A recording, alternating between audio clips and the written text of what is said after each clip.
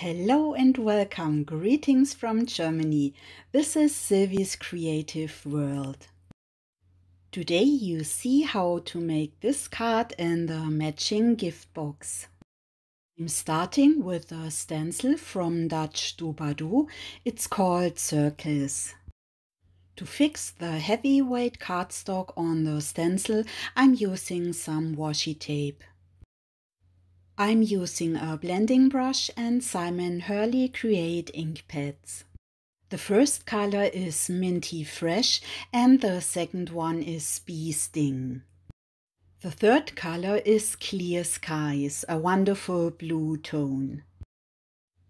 By overlapping the colors, you can even create new colors.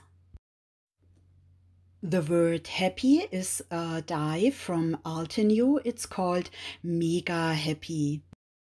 I am die cutting this from navy blue cardstock with my Big Shot. As I intend to give it some dimension, I'm die cutting it three times. As this is a huge die, I'm making sure I have a clean die cut, so I'm cranking it through my machine two or three times. With the help of a piercing tool, I can easily remove the cardstock from the die. I am die cutting the word happy one more time from mirror cardstock in silver. This will later be glued on top of the happy in blue. For the two banners, I'm using one of the stitched fishtail sentiment strips from My Favorite Things. I'm die cutting one from red cardstock and one from navy blue cardstock.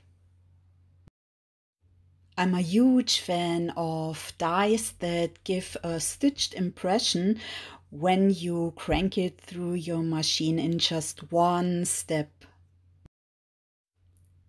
And now it's time for some stamping. I'm using my Stamp Perfect from Hampton Art and the matching stamp set from Altenew. It's called Mega Greetings 2. The two words are placed on the banner and then I secure it with the magnets. When you close the door, the stamp sticks on the door and so you can stamp it many times on the same spot. Before stamping with Versamark ink, I am preparing the paper with some anti-static powder. I am repeating the same steps on the navy blue banner. As I have two missing spots in my stamped images, I'm using the Versamarker. When you're done with it, you can apply the silver embossing powder. I am carefully tapping off the excess and then heating it with the heat gun. To prevent my fingers from being burned, I'm using a wooden clothespin. The three blue happies are glued together with a Nuvo glue pen. The happy die cut from the silver mirror cardstock is glued on top. To create a blue shadow, I am gluing it on a little bit offset. Now it's time to glue the card together and I'm using Tombow glue. For a little accent I'm drawing dashes on the edges of the card with a white gel pen. The happy is glued on with the Tombow glue and I'm securing it while it is drying with an acrylic block. I am applying some strips of double-sided adhesive foam on the banner and then I stick it on my card.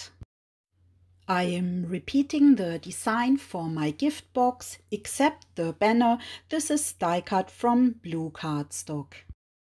You can find all supplies and the measurement in the info box below. Thank you so much for spending your time with me. If you like my video, you can give it a thumbs up. I'm wishing you a wonderful and blessed day. Bye.